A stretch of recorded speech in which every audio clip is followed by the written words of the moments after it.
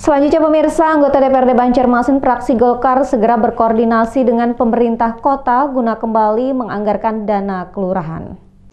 Selain masukan untuk ada perbaikan infrastruktur seperti jembatan, titian, dan jalan yang sudah tidak layak di kawasan Banjarmasin Barat, saat kegiatan reses penerapan aspirasi warga oleh anggota DPRD Banjarmasin juga menguka dana kelurahan yang diharapkan warga bisa kembali dianggarkan. Ini disampaikan anggota DPRD fraksi Golkar Darmasri Handayani beberapa waktu lalu.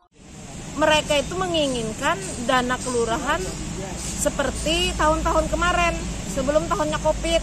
Maksudnya uh, tuh?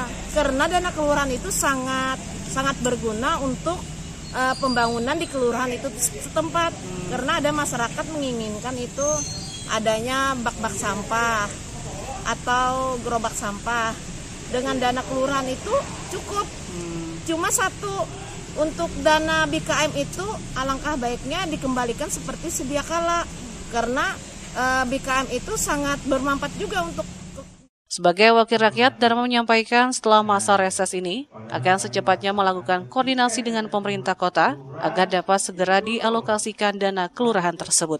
Risna Banjar TV.